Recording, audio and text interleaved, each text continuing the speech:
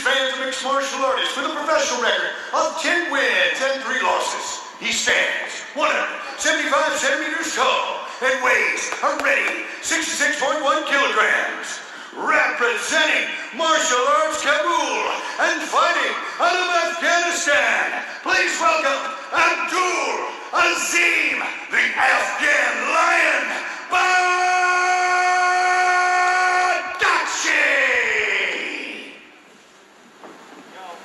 Your referee is the bandit, Jackie Larkin. Decky Larkin will take charge of this contest. We look at the tail of the tape. There's slight height and reach advantage on the side of the Afghanistan fighter, Abdul Azim Badakhshi. He is in the red corner Agshin, Babayev in the blue.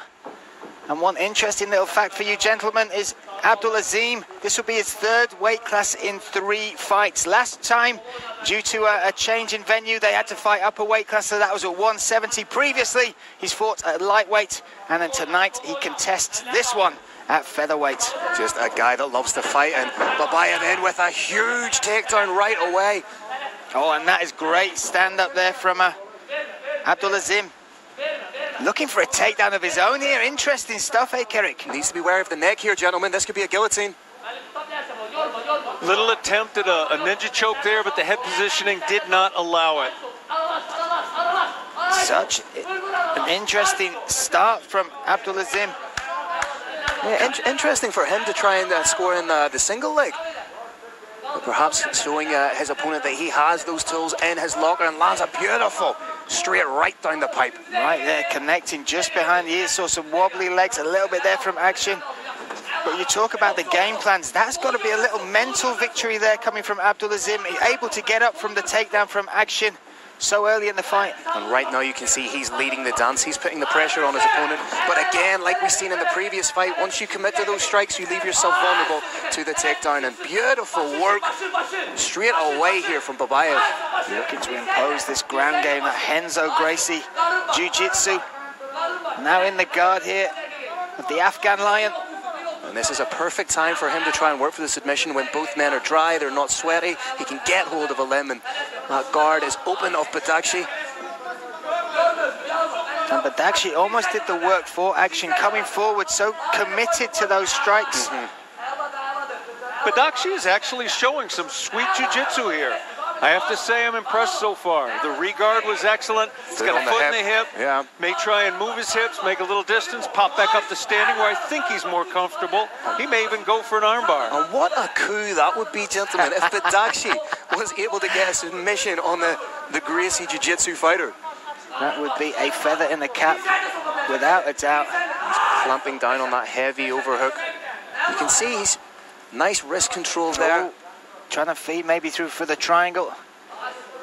But now the, look at the wrist control, like you said, trying to feed that hand mm -hmm. behind the back of uh, Badakhshi. Very smart work there, and again, just shows the awareness that's needed when you're involved in these little battles. Maybe a pass coming, gentlemen. No, another regard from the Afghan warrior. We are seeing some evolution in the ground game of uh, Badakhshi. Now with that close guard, trying to work their hips there, but you see Babayev, an experienced ground fighter, just squaring the hips off, moving with his opponent, never letting him settle to achieve that angle he needs. Just under two minutes now left in this first round. Nice hammer fist there by Babayev. And he's just burying his head. He's showing how smart he is because he's all the way down. He's not in what I like to call that no man's land, where you're not all the way down and you're not entirely upright, which leaves you vulnerable. Again, good wrist control from Babayev. Very powerful man from Afghanistan. You can just see every muscle in his body working to control Badakhshi. And from the bottom, what are you seeing, Kirik? What, what, what's, what does Badakhshi need to do to make this change, to get this back to the feet? Oh. What you're seeing is superior jiu-jitsu on top. It's almost invisible from the outside, but everything that the Afghan warrior attempts from the bottom gets shut down by subtle movements of the knee forward, subtle following of the hips. What you what we have to see now from bottom is a stand-up. We need a knee shield, and there wow. it was. Space was made, and he took advantage of that. Oh. But once oh! again, he jumps in, he closes the distance. He's got to be careful with that, Phil. And it was Babayev who actually disengaged there, but ducks under. And that again is a win for Badakhshi. He wasn't taken down there. Oh, uh, Babayev taking some deep breaths. We talked about that muscly frame. Oh, Oh, the it's a beautiful thing. That's it. he's on his shoulder. Afghan Lion! We talked about the holes in his game. He was able to get the jiu-jitsu player off him, made some distance, and then took the finish. The Afghan lion bares his teeth, bares his soul, and scores a beautiful knockout here at Brave Combat Federation 47. Well, I thought we'd seen the knockout of the night earlier on by Fahad, but that, for my money, is as beautiful. And coming from the position he was in, Kirik, you said he needed to make space. He needed that knee shield. Once he got it, he made his opponent pay, and he took the victory, his first victory under the Brave banner. Those face plant KOs are very real. There's TKOs in mixed martial arts and there's KOs. A TKO is when you don't continue. A KO is when you can't continue. When you go face down. Shovel uppercut that started off, he threw that from outside the cage. The both face plant walked off KO. Absolutely huge, and you can see him embracing Rashid Amiri there. And look at the technique as well, Leffer. Look at the way that comes from the foot all the way through the body, the torque on the uppercut, the accuracy on the right hand. Bang! That is all she wrote. Supreme confidence from that fighter. He could have jumped on his man, thrown some more punches to try to end it, but he knew he landed a perfect punch. It's a gangster move, isn't it? The, the walk-off knockout. Beautiful work from Badakhshi. Stunning stuff, and you can see just what it meant. Coming in with a lot of pressure on him. Coming off the back of that loss at Brave 45, wanted to make a statement. There's no cleaner statement than knocking your opponent clean out and claiming victory. Fantastic stuff. Afghanistan will be proud. Let's make it official. Let's hand it to Carlos Kramer.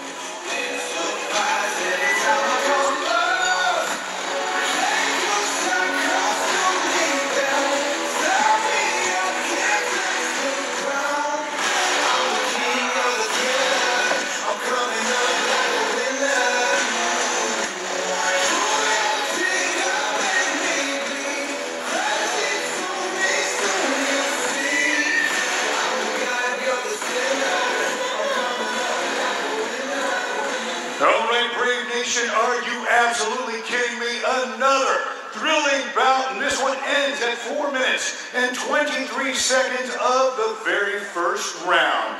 Your winner by knockout from Afghanistan, Abdul Azim, the Afghan Lion, Badakhshi!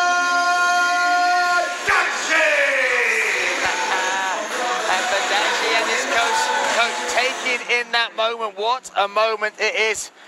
Credit to his opponent Babayev. It looked good early on, that wrestling, that grappling, like you said, the control he had, Phil.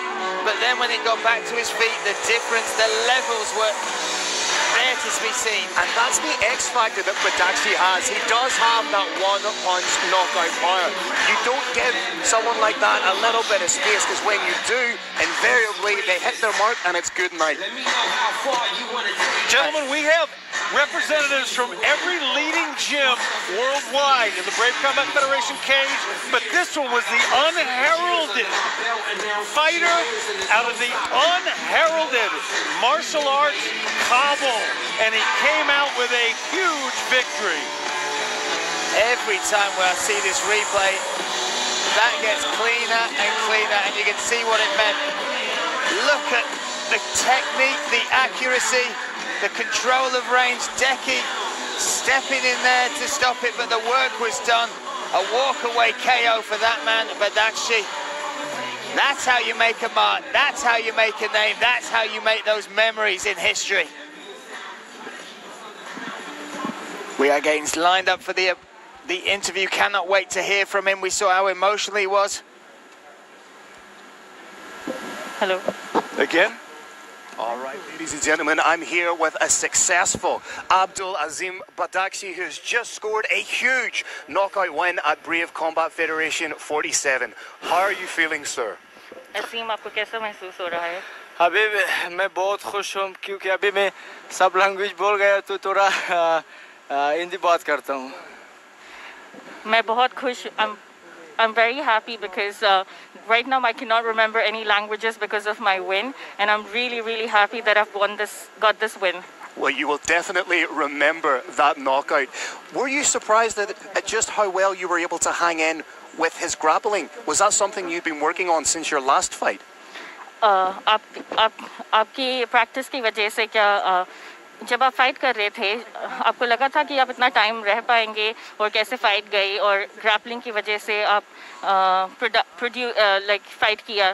तो आपको लगा था आप इतना time sustain कर पाओगे fight मैं अगली बार अहमद मकमीतुफ में फाइट हार गया था तो मैं रेसलिंग बहुत किया था तो मेरा ग्राउंड मेरा fight ah, ah, ah, stand up um, अच्छा लगता है। तो मैं ऐसा फाइट है तो ये जितना हारना है तो ये फाइट फाइट में मैं बहुत कोशिश किया था बहुत मेहनत किया किया कि मैं फाइट इंशाल्लाह जीत जाऊंगा because of my previous loss, uh, I thought that uh, uh, I took that loss very personally, and uh, this is why I worked a lot on my wrestling. And I think my stand-up game is very strong, and this is why I feel that uh, I can I can do much well uh, when I'm playing, when I'm standing and I'm fighting.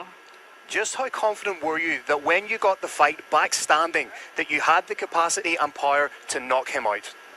Uh, जब आप fight कर रहे थे खड़े होकर आपको कितना confidence था कि आप उसको नॉकआउट कर सकते हो? जब मैं फाइट करता हूँ मुझे हारना दिमाग में नहीं है दिल में। मुझे जितना आया जिस मेरा दिल मेरा दिमाग में जितना है क्योंकि मैं मेहनत करता हूँ। जब मेहनत करता है तो हारना जितना आला के पास है। तो मैं ऐसा सोच जाऊँगा कि मैं जीत जाऊँगा इंशाल्लाह when I fight, I always think that I do not want to lose. And whenever I fight, I think that whenever, whenever I fight, I feel that I only want to win. And because and I take my losses very personally, and uh, that's how I fight when I enter the stage. And uh, win and when my win and my loss is because of my Almighty and अल्लाह के अल्लाह yeah, because of my Allah. And what's next for you in Brave Combat Federation? Would you like to compete again quickly? Would you like to get a little bit of a run going and maybe make your way towards title contention? आपका future का क्या plan है और आप क्या देखना चाह आपकी कौन सी आगे आपका क्या फाइट के लिए करना चाहोगे और आप आगे अपने आप को एक टाइटल फाइट के लिए देखते हो मैं बर्फ चाहूँगा कि मुझे जल्दी और फिर फाइट दे दो क्योंकि मैं अब्दुल रेदी है अब्दुल इस बार आया बेल्ट में आया in my dictionary, there's no losses. I only want to win. And I wish Brave gives me a fight as soon as possible so that I'm ready and I'm ready to fight again. Well, there you have it, ladies and gentlemen. He is ready to go again. Give it up for the Afghan lion, Abdul Azim Badakhshi. Thanks, thanks.